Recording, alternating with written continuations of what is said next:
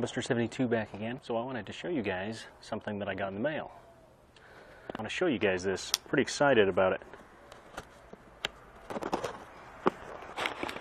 So what we have here, this is the Smart Lantern.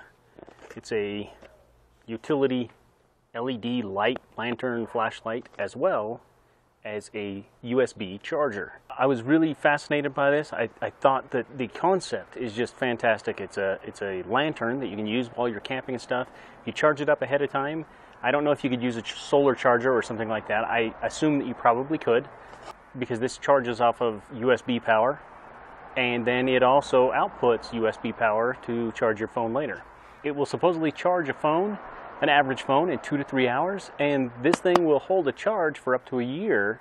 So you could charge it up put it in your car your go bag something like that and it's going to hold a charge so that you can use it to charge your phone later. Let's get this thing open and check it out. Um, let's see what we got here. Oh I'm gonna lose it. So we've got a wall charger it looks like with a USB port in it. I'm guessing this is how we charge the lantern we have a cable, a USB cable. Looks like a micro USB. Most people probably have half a dozen or a dozen of these things laying around. I know I do. Looks like we have a carrying bag. Kind of got a little rubberized feel. I don't, obviously it's just a drawstring, so it's not fully waterproof, but it might keep a little moisture off of it. And here we've got the lantern and charger itself.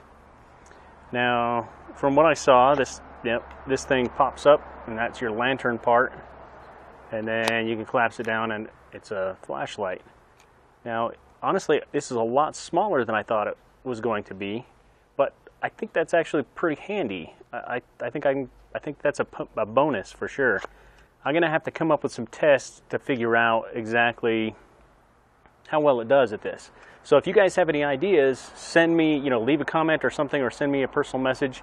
We're, we're going to test this thing out. We're going to see how well it does. Let's see, turn this on. Okay, well, it's got some power to it, but we got no light here.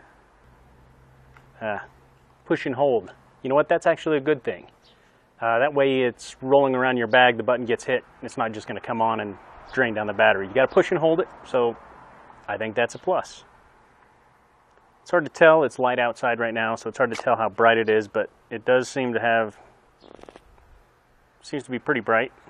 There are four LEDs in there from what I can tell a lot heavier than it appears. It's not heavy by any means, but it is heavier than it looks like. And it seems to be pretty solidly made. It, it is um, plastic, essentially. I don't know the, the hanger clip here. I don't know how solid that's going to be or how easily that's going to just pop off of there. It, it does look like it, it might pop off. I, I don't know how easy that would be. Anyway, this is the Bracketron smart lantern. So far, I, am pretty impressed with it. It's it's small, it's fairly lightweight, but it still has some good it has some good heft to it. I mean, it, it feels solid. Again, leave some comments down below with your ideas for some tests for this. I'm going to get this thing charged up, and maybe we're going to see how long the lantern lasts, and then we'll see how well it charges phones and things like that. Anyway, guys, until next time, take care and be safe.